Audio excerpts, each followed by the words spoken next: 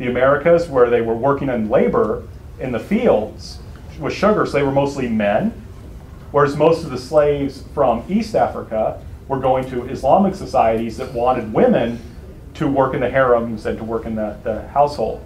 So what that meant was there weren't enough women, African women in the Northeast, and there weren't enough African men in the West, and that caused kind of a demographic problem for Africa. So you had that issue. Of course, you just also had a lot of misery. All these poor people are being sold into slavery. But despite that, some African kingdoms became very powerful through the slave trade. They were by selling slaves, they got money to buy guns, which helped them make even stronger governments. So that's another um, issue. The uh, and one thing I just want to mention is the scale. Remember, there were more Africans than Europeans coming to the Americas. Right? There were more Africans than Europeans coming to the Americas, and there was a lot of them. It's just the work they did was so terrible, uh, most of them didn't reproduce. It was actually cheaper to buy more slaves rather than allow slaves to reproduce. So you bring in lots of men, you work them to death, they die, you just bring in more. So any questions there? Okay, in terms of what regions were most slaves in the Americas taken to and why? Right, uh, this is the slide. Only 4% go to North America. Most right, are going to go to 45% to Caribbean and 46% to Brazil. So most are not going to the United to the area that will become the United States. Most are actually coming there. Uh, what are they coming there to do? Sugar. Sugar. Yeah. And I just I wanted us to, to kind of remember that because uh, our image of slavery is, is dominated by what happened in the American South, but we want to remember that's not the only kind of slavery, that you had another kind that's going on here, uh, which isn't focused on cotton, but is focused on sugar.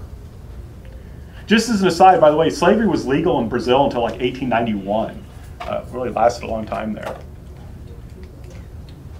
Okay, people ask this question what is mercantilism? This is a fairly easy one to answer because it's right there on a slide where it says the rise of mercantilism.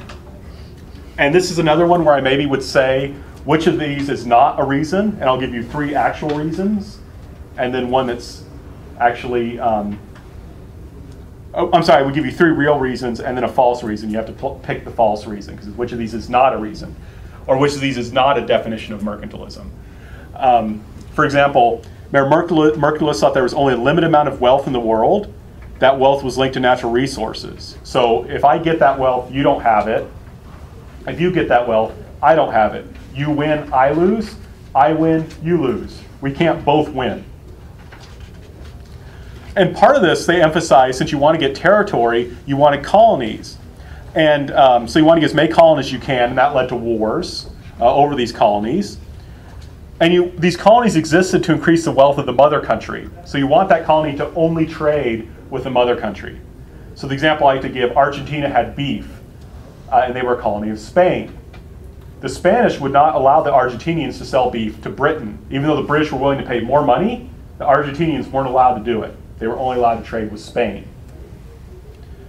And this led people to obtain colonies to get natural resources. And this is one reason why governments would support things like the British East Indies companies or the Dutch East India Company, uh, because they want to go out and explore to get these colonies so they could get money. And that's a theory of mercantilism. Okay, what advances did the rise of merchant capitalism lead to? Again, Um, this is another case where I just have a handy little list. We talked about banking and credit, this idea of shares and shipping, right, where you would share the risk by dividing ownership of a ship, and joint stock companies. I should have added uh, stock market because that rises out of that, but I neglected to, so that won't be there. But th- so you can see there, that's a really easy one that maybe there would I would ask you, okay, here's uh, four, you know, which of these does not belong? Because there's three right there, it's easy for me to add a fourth fake one. The same is also true, people ask me who capital, what capitalism is. And there's, of course, my hero, Scrooge McDuck. Um, I hope people have heard of him. My jokes will make no sense. Um, remember, capitalism, again, you see three things. Uh, this may be uh, which of these is not, question which of these does not belong. Remember, private ownership of capital, that, and capital is the means of doing business. And that's, for example, money, machines, or ships are examples of capital.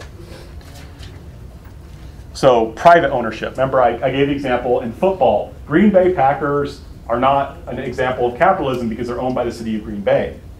The Indianapolis Colts are an example of capitalism because they're owned by Ers, what's his name, Erskine. Um, so it has to be private ownership, not owned by a state or a government or the community. It has to be owned privately by someone like Scrooge McDuck. Um, capital and labor are different. Uh, there's a division between the two. The person um, who, the labor does not own the capital used to make money. So Baker baking his own bread is not a capitalist. Right? Baker baking his own bread to sell is not a capitalist because he owns the bakery and he's the labor. However, when the baker is working for Scrooge McDuck, uh, Scrooge McDuck Enterprises, um, he is that's a case of capitalism because Scrooge McDuck is not baking, only the baker is baking using the oven that Scrooge McDuck owns. So capital and labor are divided. Um, and the person who gets the profit is not the person doing the work, it's the person who owns the capital. So again, use that example, uh, Scrooge McDuck owns the oven. He pays the baker a wage, but the profit from selling the bread does not go to the baker, it goes to Scrooge McDuck. So, did, is that clear? Any questions there? Okay. I'm not sure if the Disney references are helping. So, I teach a history of comics and anime class, so I always like to, to bring in cartoons whenever I can. Hopefully, they make things clearer rather than confusing things. Um, that's right, we did that how were the two centralized states of England and France different? And this is one thing I, I want to emphasize. Sometimes the way I ask the question will help you answer that question correctly. So, for example, on the test, there may be a question that says, which of the following statements about England and France are true? Which of the following statements are true? And I may say, they were different because. Well, you should know as, as soon as you see, or I'm sorry, they may, one may say they are the same because. You should know instantly that that's a wrong answer. You should cross out instantly because the question I ask is, how were they different? Right, so you want to pay attention to the, sometimes in the review question itself, you have a clue. Right, so if, if you see one, an answer that says they're the similar, you know it's false because I'm asking you how are they different. So starting with France, right? How, what was, who was the guy, the main guy talked about who ruled France? Right, Louis XIV. Was Louis XIV elected? No. How, how did he justify his right to rule? Right. Well, he pointed to this idea that he was divine, right? The sun god. And what did um, so was, he had this idea of divinity, and it was called divine, divine right. Right, right, divine right. And I think I bolded that in the um, the PowerPoint. Whenever you see a bolded term, that's one you really want to focus on. So he had this idea of divine right. I rule because God put me in charge, and because of that, he also had royal. Begins with an A. Absolutism right? God chose me, so I can do whatever I want. You have to listen to me. Right, so that's that's how, why he's in charge. Okay. Who was Robert Walpole? What was his big deal?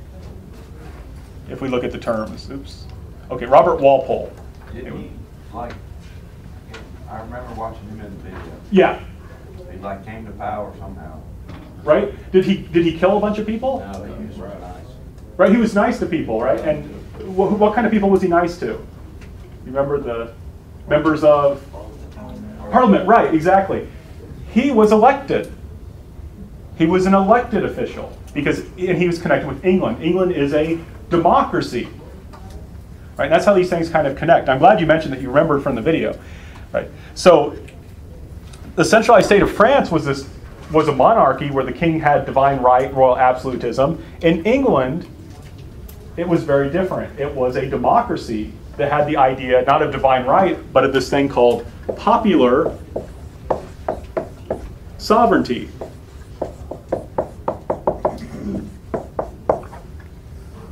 Right? The power came from the people. In England, you ruled not by the grace of God, you ruled by the power of the people.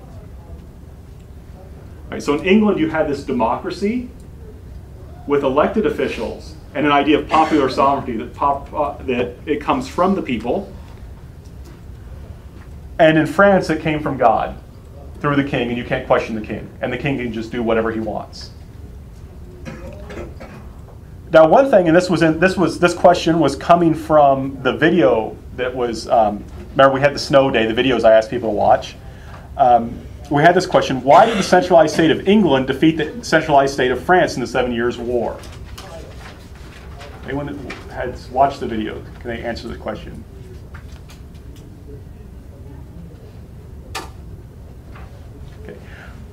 Right, make sure you watch it. but one of the key things was this issue of trust. Remember, France is bigger than England. France had more people. It actually had a larger economy. It had a bigger army and a bigger navy. But no one trusted the French king with money. No one would loan money to the French king because the French king wouldn't pay back his loans. You're not going to loan money to someone who's not going to pay you back. It's a bad risk. In contrast, England was a democracy. And remember, one of the key things about the democracy, we talked about this, people were willing to pay higher taxes because they had a say in how their money was being spent. Right? King of France just said, give me money and uh, just give it to me and I'll decide how it's spent. In England, though, you got to help decide how that money was spent. So English people trusted their government more because they had a say in their government. They were sure that their government would pay them back because they were their own government. Right? If the government didn't pay them back, they would vote in a government that would. So it was because democracy led to trust. And trust allowed the English to borrow money from their own people. That's what a bond is, by the way. A bond is kind of a loan right? When you buy a government bond, you're buying a, um, you're, you're giving the government a loan. And that's what the British, the English did, was they had a lot of loans from their own people in the form of bonds. And that gave them the money they needed to build ships, to build armies, and to defeat the French. So it's that issue of democracy and trust. So any questions there? Okay, how are science and technology different?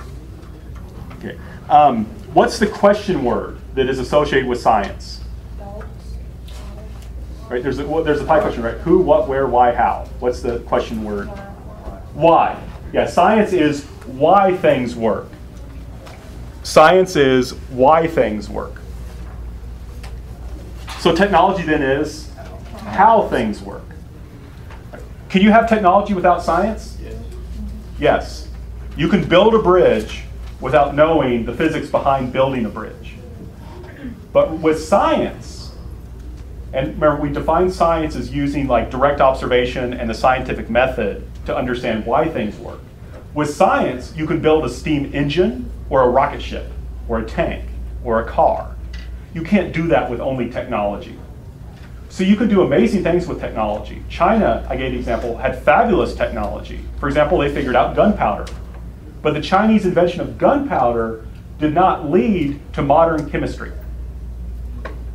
Right, so the advantage of science is that it allows you to do new things you couldn't do before because you understand the principles underneath it. Okay, why were the Americans able to gain independence from Britain? Right, I gave, here's the slide. This was one of those ones that was online, so please make sure you, you watch it. But there, again, helpfully, are the four reasons for American victory. Uh, for one thing, the British had to come across the Atlantic Ocean. That's really difficult. That's really far away. So they had problems with um, supplying their army. Logistics is just a military term for supply. Right? They had to, how do they get their soldiers food? How do they get them weapons? How do they get them ammunition? Supply. The Americans also mastered guerrilla and conventional warfare. Right? When I was young, we were taught, oh, the Americans hid behind the trees while the British wore red uniforms and, and they were dumb. And that's not true.